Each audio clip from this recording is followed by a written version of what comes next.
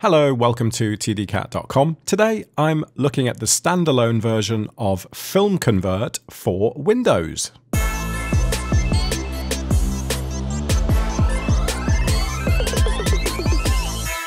So here we are in the opening screen pretty much of the standalone version. Film Convert has been around for some time now and uh, is a kind of well respected and very much sort of loved plugin for um, Final Cut Pro and for Premiere. And uh, it's actually made by a company I think called uh, Rubber Monkey Software, who are based in uh, in New Zealand. And if you look at their website, you wouldn't really think that they were the people who made Film Convert, but there is a small link at the bottom, so I'm pretty sure I've got my facts right on that. And uh, it links to the Film Convert website, which is a lot, lot more pretty than their own website. Anyway, that's beside the point. Let's take a look at the Film Convert here in Windows. This is a first impressions view. I haven't used this yet. I bought this when it was released in April, but I haven't used it yet. And I just want to take a look at it and just run you through it. So here we are. We've got our browser, our clip browser. And it first, my very first thought on this is it actually kind of looks pretty basic. It looks quite um, a little bit kind of 2005-ish, if you know what I mean. But that's fine, you know. It's just an just a, uh, an Explorer. Uh, the thumbnails it produces here. So I've got a, I've set up a little folder. It's got a couple of sample clips in, and the thumbnails it produces are squished, so they don't maintain their aspect ratio, which is a bit weird. And they also don't, if you notice, they don't scrub when I'm on them. And maybe they do once I put them in the shot list. I haven't tried that yet. So we've got a few different clips. We've got some uh, UHD here at 50 frames a second. This is MP4, so that's pretty processor intensive stuff to render on the fly for any any system really. Uh, we've also got um, a UHD DNX HQ uh, or DNxHR, I think it is, clip. And we have some some DNX HD full HD stuff here as well. So I'm just going to drop these shots in. So yep, I can select them all just by dragging over them. I'm going to drop them into my shots. And now can do I get a am I can I no, so I don't get any option to I can list them like that, which is doesn't give me much information. Uh, but or I can do them like that. But I don't I don't have any option. Normally, when you hover over them, they kind of scrub through them, and you can see quickly what's in that clip. But that doesn't happen here. So let's move on to the film settings. These we've got three tabs across the top. First is just the browser to choose the footage. So we have the you know the clip browser, sample of the clips, and then your shot list. And then this, the film settings is where everything actually happens in relation to the film itself. And these, of course, aren't film clips. These are just uh, a couple of uh, random uh, uh B-roll and uh, sort of, uh, well, I suppose, BTS type clips, really. They're not really anything, any proper clips. So let's take a look. Right, so we've got our... Okay, wow, that's... Uh, that's this is our 50 frames per second UHD MP4 clip, and let's just have a quick and the U1 okay, and the U2 have already become redundant. Plays it okay.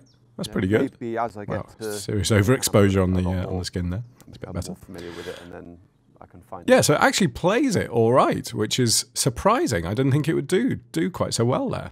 Uh, it's already applied a grade, as you can see, because if we do a bypass, we have a bypass button here. That's nice. So that's our original. That's our it's just funny, isn't it? When you switch back to the original, it suddenly looks really, really red. So it's already applied a grade based on these uh, default settings. And the big thing with Film Convert is you can download profiles for specific cameras. Now, the camera I'm using on this doesn't have a profile, so I haven't downloaded any of them, but you can do that with all sort of major, major cameras, you know, your sort of FS5s and your C100s and your Canon 5Ds and, and, um, uh, GH4, Panasonic GH4, all those, you know, they all have profiles dedicated for the way they operate. And that's one of the big pluses with Film Convert.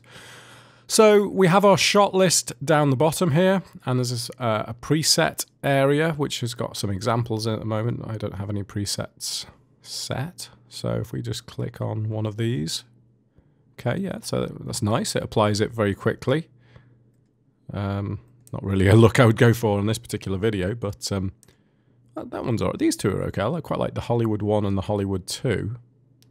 And can I do an undo? Well, Control Z happily does an undo. That's good. Just to re-clarify, not a tutorial here. I'm kind of learning as I'm going along here. All right, so it tells you on your shot list which presets applied to that clip. That's nice. And yeah, so scrubbing scrubbing through is not a good experience. It's very, very slow. But playback is surprisingly good. I don't need them. Um, it's very, very clean, that. Very nice. Right, so we're on quite a... Just a shot of Rod's belly. Sorry, Rod. I'm oh, not suggesting you have a particularly large belly. I'm just saying it is a, a shot of your stomach. okay, and let's have a look at some of the controls. Uh, so what have we got? Exposure and temperature. Good. Let's just um, make some adjustments there. Mm, that's okay. Yes, you can type it in if you want. And these sliders, that's a nice... This is a nice slider, actually, but I'm just looking at the ones below here. These are tiny. Okay, so I can't... There's nothing to be, enable me to... See, I've kind of got a lot of wasted space here, left and right of the um, window, and I can't extract this out. Uh, so I'm left with just with just this tiny, tiny slider here to be able to do my um, shadows, mids, and uh, highlights. That's quite surprising. Uh, reset. Yep, so the reset works. So the color correction stuff in, in, in Film Convert is really good. And let's face it, that's what it's about at the end of the day, isn't it? It's got to be, it's got to look good. Uh, but I'm really just interested in the the interface here and how the software actually works. So this is overexposed here. Let's see if we can recover that at all.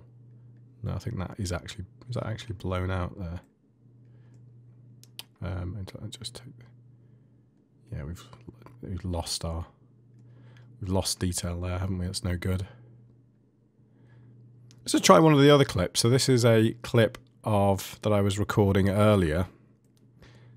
And this is just yeah. So this is UHD as well. Much better to scrub through because it's not MP4. And the grade on that looks pretty nice. Straight out of the box. It looks good. Um, I'll show you the original. Bit too red. And that's the graded version.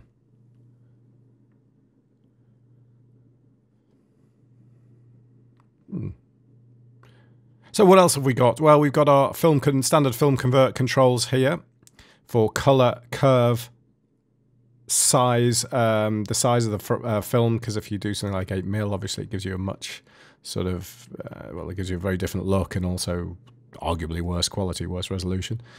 And then you've got your grain amount here, nice easy slider there for grain amount, and your three-wheel color corrector. There's no, there are no values, unfortunately, on the shadows and mids. You can use the, you can use the scroll wheel to move up and down, with the shadows and mids. So if I drop my blacks down or I can push them up, give it a more kind of, um, give it that more kind of popular look at the moment. And maybe drop the mids within that a bit. And then I have a separate one for saturation, which again is quite nice. That's an, yeah, that's a nice. I wish all the one thing I would say, I wish all the sliders, these three, were as big as this one and this one, and I wish these had some values associated with them. Maybe I'm not using this correctly, but that's just a kind of um, first impression. Uh, this, these are, these are really nice actually. These pull really nicely. Let's just put, drop that there and drop that towards the blue. And bit blacks down a bit. A bit more saturation maybe and try changing the color temperature. Yeah, so we, I mean, I'm just playing around here, but uh, yeah, so these work really, really nicely. Really, really responsive, which is really important considering it's doing this on a UHD clip. They're very, very responsive to the change, no lag whatsoever. And I can just do a quick reset of that, reset of that, and reset of that to get back to my original and reset all. I can do there. But I do still initially have the film applied to the clip. So to to stop, you know, if you wanted to grade the original, you'd probably have to pull both those sliders down to start with, because then you're looking at the original clip, and then you can maybe do your initial kind of um, grade on your on your on your footage, something like that. So not a very nice expression I've got there on my face. And and then maybe apply your film look after over the top of it to sort of neutralize and and balance out all the colors as you would want them to be. So it looks really nice. Uh, you've got all your standard film stocks here as per the plugin. And you have a histogram. I do I do wish it had a a waveform as well. Uh, because when you use the plugin, you can use the waveform in your in your um, NLE. Uh, so in Premiere or in DaVinci or whatever you're using, but in in this you don't have that option. So I, I'm not a big fan of of this of a histogram for video. I prefer using a waveform. That's I guess that just depends on what you're used to doing and work where you work um, you know, what you've worked with previously, but that's just my preference. So let's have a quick look at these. These are, this is a bit of log footage, the same clips I was using the other day. So we've seen these before. They've got this guy on his boat. So that's log footage. Um, I don't have a profile, otherwise I would use a vlog profile. So I'll just drop these down to start with and just do a quick, drop my blacks down. Just a really quick and quick and dirty grade of this. Drop my mids a bit. Yeah, so it's kind of pushing it to its lim the limits of the sliders here to do a log grade. But that's all right. So there we go. There's our...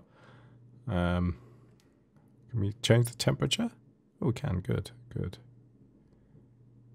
It's quite a sensitive control, that. And so we've gone from that to that. That's pretty nice, isn't it? Just really, really quickly with the color corrector there. Just gone from that to that. And then let's apply the film look to it. So there's the film look, balancing out the colors to, to the particular stock. And just try a different stock.